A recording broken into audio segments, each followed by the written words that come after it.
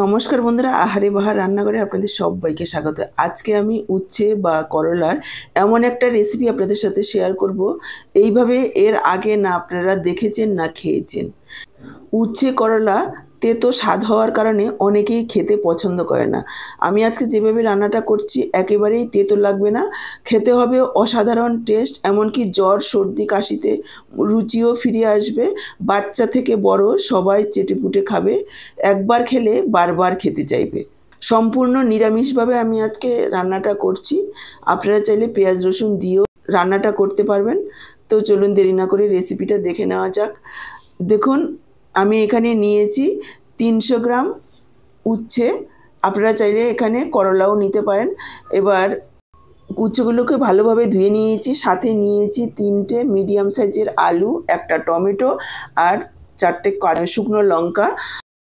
ঝাল আপনারা নিজেদের পরিমাণ বুঝে দেবেন। এবার প্রায় দেড় লিটার পরিমাণ জল দিয়ে দিয়েছি গ্যাসে কড়াই বসিয়ে। তার মধ্যে উচ্ছে, আলু আর টমেটোগুলো দিয়ে দিলাম। এবার ঢাকা দিয়ে প্রায় তিন থেকে চার মিনিট সেদ্ধ করব। উচ্ছেগুলোকে পুরোপুরি সেদ্ধ করব না। মোটামুটি ফিফটি থেকে সিক্সটি পার্সেন্ট পর্যন্ত সেদ্ধ করব। দেখুন, ঢাকা দিয়ে প্রায় তিন চার মিনিট সেদ্ধ করে নিয়েছি। এবার উচ্ছেগুলোকে এভাবে একটু দেখে নেব। হালকা একটু চাপ দিলেই যদি চাকুর মাথা বা একটা টুথপিক ঢুকে যায়, তাহলেই বুঝে নিতে হবে যে উচ্ছেগুলো সেদ্ধ হয়ে গেছে। এবার উচ্ছেগুলোকে তুলে নেব, কেননা আলুগুলো সেদ্ধ হতে আরও একটু সময় লাগবে। এখানে আমি টমেটো, উচ্ছে আর লঙ্কাগুলোকে তুলে নিচ্ছি। টমেটো, উচ্ছে আর লঙ্কাগুলোকে তুলে নেওয়ার পর আরও চার পাঁচ মিনিট সেদ্ধ করে নেব আলুগুলোকে। দেখুন, ঢাকা দিয়ে আলুগুলোকে আরও চার পাঁচ মিনিট সেদ্ধ করে নিয়েছি। আলুগুলো খুব ভালোভাবে সেদ্ধ হয়ে গেছে। এবার তুলে নিয়ে ঠান্ডা করে নেব। দেখুন, উচ্ছে আলুগুলোকে হাতে ধরার মতো ঠান্ডা করে নিয়েছি। দশ মিনিট পাখার নিচে রেখে এবার উচ্ছেগুলোকে নিয়ে নিচ্ছি, কেটে নেব। উচ্ছেগুলোকে আমি এখানে দু টুকরো করে কেটে নিচ্ছি। এবার অনেকেই বলবেন যে উচ্ছেগুলোকে সেদ্ধ করার কি দরকার ছিল? আর রান্নার শেষ পর্যন্ত দেখলেই বুঝতে পারবেন যে কেন উচ্ছেগুলোকে আমি একটু সেদ্ধ করে নিয়েছি। দেখুন উচ্ছেগুলোকে আমি দু টুকরো করে কেটে নিয়েছি।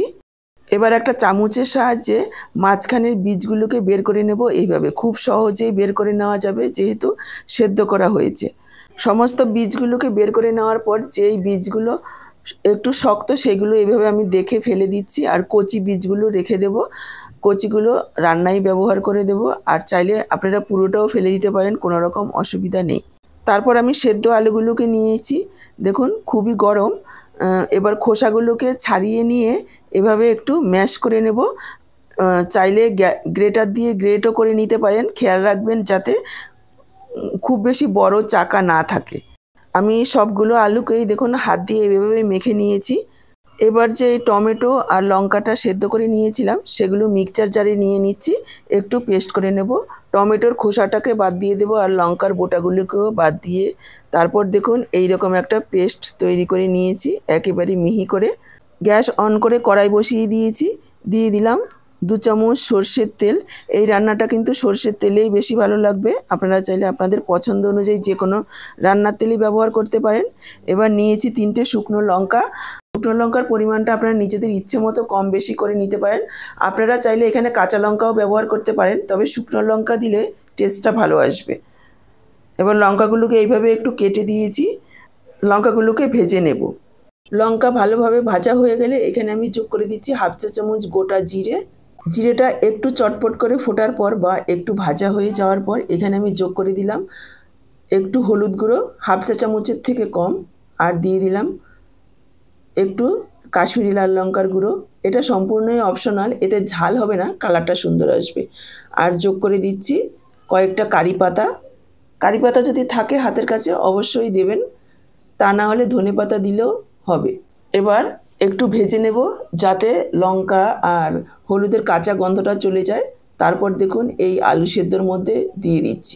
সাথে দিয়ে দিলাম একটু ধনে পাতা কুচি আর দিয়ে দিলাম এক চা চামচ কর্নফ্লাওয়ার।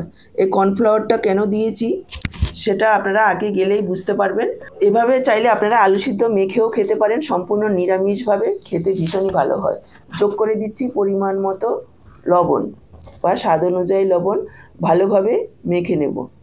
এইভাবে আলু সিদ্ধ মেখে গরম গরম ভাতের সাথে খেতেও ভীষণ ভালো লাগে। আলু সিদ্ধটা ভালোভাবে মেখে নেওয়ার পর যে উচ্ছের কচি বীজগুলো ছিল সেগুলো এর মধ্যে দিয়ে দেব আর আরও একবার মেখে নেব।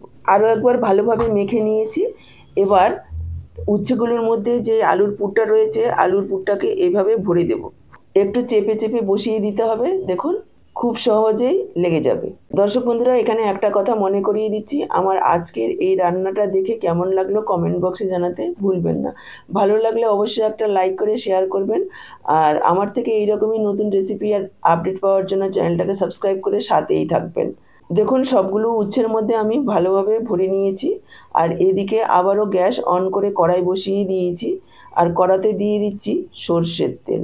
তেলের পরিমাণ আপনারা নিজেদের ইচ্ছে অনুযায়ী কম বেশি করে নিতে পারেন। তেল গরম হয়ে যাওয়ার পর উচ্ছের মধ্যে যে পুরটা ভরে রেখেছি, সেটা এইভাবে নিচের দিকে দিয়ে উচ্ছেগুলোকে দিয়ে দেব আর উচ্ছেগুলোকে ভেজে নেব। নিচের দিকটা দিয়ে দিলে আর একটু পুর বের হওয়ার সম্ভাবনা থাকবে না। আর যেহেতু এক চা চামচ কর্নফ্লাওয়ার দিয়েছি, সেই কর্নফ্লাওয়ারটা দেওয়ার কারণে বাইন্ডিংটা খুব ভালো হয়েছে আর একটু বের হবে না। দেখেই বুঝতে পারছেন, একটুও বের হয়নি। এক পিঠ লালচে হয়ে ভাজা হয়ে গেলে এভাবে একটু উল্টে দিতে হবে, অপর পিঠটাও একেবারে লালচে করে ভেজে নিতে হবে। উচ্ছেগুলো সেদ্ধ করে নেওয়ার কারণ একটাই যে এইভাবে সেদ্ধ করে নেওয়ার কারণে উচ্ছেগুলো খুব কম সময়ে ভাজা হয়ে যাবে আর একেবারেই কাঁচা থাকবে না। আপনারা চাইলে এভাবে ভাজাও খেতে পারেন, গরম ভাতের সাথে খেতে ভীষণই ভালো লাগবে। কিন্তু আমি এখানে কিছুটা ভাজা রাখব আর কিছুটা ঝোল করব। দেখুন, দুবারে সমস্ত উচ্ছেগুলোকে এইভাবে উল্টে পাল্টে একেবারে লালচে করে ভেজে নিয়েছি। দর্শক বন্ধুরা, উচ্ছের তরকারি, উচ্ছে ভাজা, উচ্ছের চচ্চড়ি অনেক রকম খেয়েছেন। একবার হলেও এইভাবে খেয়ে দেখুন অসাধারণ খেতে হয়। এইভাবে রান্না করে নিলে এক পদ দিয়েই খাওয়া হয়ে যাবে। এতটাই টেস্টি হয়। আর বাচ্চা থেকে বড় সবাই চেটেপুটে খেয়ে নেবে। একটুও তেতো লাগে না খেতে। দেখুন সবগুলো উচ্ছেই এভাবে ভেজে তুলে নিয়েছি। দেখুন, দেখেই বুঝতে পারছেন কতটা লোভনীয় হয়েছে দেখতে। এবার আমি ঝোল করব কিছুটা আর কিছুটা ভাজা রেখে দেবো খাওয়ার জন্য। একটা ভেঙে দেখিয়ে দিচ্ছি। দেখুন কতটা নরম তুলতুলে হয়েছে। ওই একই কড়াতে দিয়ে দিলাম। আরও দু চামচ তেল আর তার মধ্যে ফোড়নে দিয়ে দিচ্ছি হাফ চা চামচ গোটা জিরে। জিরেটাকে একটু চটপট করে ফোটার পর এখানে দিয়ে দিলাম টমেটো আর লঙ্কার যে পেস্টটা করে রেখেছি সেটা একটু নাড়াচাড়া করে কষিয়ে নেব এক মিনিট মতো। তারপর এখানে যোগ করে দিচ্ছি হাফ চা চামচ আদার পেস্ট। আদার পেস্টটাকেও একটু মিশিয়ে নেব। তারপর এখানে যোগ করে দিলাম হাফ চা চামচ হলুদ গুঁড়ো, হাফ চা চামচ ধনের গুঁড়ো, হাফ চা চামচ জিরের গুঁড়ো। আর ওয়ান ফোর চামচ গরম মশলার গুঁড়ো। একটু নাড়াচাড়া করে নিয়ে একটু জল দিয়ে দিচ্ছি যাতে মশলাটা না পুড়ে যায়। মিশিয়ে নিয়ে ঢাকা দিয়ে দেব। ঢাকা দিয়ে মশলাটাকে কষিয়ে নেব যাতে করে মশলার তেল ছেড়ে আসে। দেখুন, ঢাকা দিয়ে প্রায় দু মিনিট মতো মশলাটাকে কষিয়ে নিয়েছি। মশলা খুব সুন্দরভাবে তেল ছেড়ে দিয়েছে। এবার আমি যোগ করে দিচ্ছি জল, এখানে আমি এক কাপ পরিমাণ জল যোগ করে দিয়েছি। ঢাকা দিয়ে প্রায় দু থেকে তিন মিনিট হাই ফ্লেমে ঝোলটাকে ফুটিয়ে নেব ভালোভাবে, যাতে ঝোলের পাঞ্চে ভাব একেবারেই না থাকে। কেননা, উচ্ছেগুলো দেওয়ার পর খুব বেশি সময় ফোটাবো না। যেহেতু ভালোভাবে ভাজা আছে, আর উচ্ছে ঝোলে দেওয়ার পর খুব বেশি সময় ফোটালে ঝোলটা তেতো হয়ে যাবে। ঝোলের মধ্যে তেতো ছেড়ে দেবে, ঝোলটাও তেতো হয়ে যাবে। এখানে আমি যোগ করে দিলাম পরিমাণ মতো লবণ আর হাফ চা চামচ চিনি। আরও একবার মিশিয়ে নেব। আর দেখুন, ঢাকা দিয়ে আমি দু তিন মিনিট ফুটিয়ে নিয়েছি। লবণ চিনিটাকে মিশিয়ে নিয়ে উচ্ছেগুলোকে দিয়ে দেব। উচ্ছেগুলো দেওয়ার পর জাস্ট দু মিনিট ফোটাবো। তারপরে গ্যাসটাকে অফ করে দিতে হবে। তাহলে আর ঝোলটা একেবারেই তেতো হবে না। উচ্ছেগুলো খেতে ভীষণই ভালো লাগবে।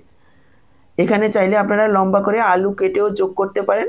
তবে আমি যেহেতু পুর দিয়েছি, সেজন্য আর আলু দিলাম না। দেখুন, উচ্ছেগুলো দেওয়ার পর দু মিনিট মতো ফুটিয়ে নিয়েছি। এবার আমি যোগ করে দিলাম সামান্য একটু ধনে পাতা কুচি। আরও একবার মিশিয়ে নেব আর ঢাকা দিয়ে দু মিনিট রেখে দেব যাতে করে ধনে পাতার গন্ধটা ভালোভাবে মিশে যায়। পাঁচ মিনিট ঢেকে রাখার পর দেখুন আমি সার্ভ করে দিয়েছি, দেখেই বুঝতে পারছেন কতটা লোভনীয় হয়েছে। গরম গরম ভাতের সাথে এই রকম একটা উচ্ছে বা করলার তরকারি হলে আর কিছুই লাগবে না। তাহলে আজকে এই পর্যন্ত। আবার চলে আসব এরকমই নতুন কোনো রেসিপির সাথে। সবাই ভালো থাকুন, সুস্থ থাকুন। আপনাদের সব্বার সুস্থতা কামনা করে এখানেই শেষ করছি। সবাইকে অসংখ্য ধন্যবাদ।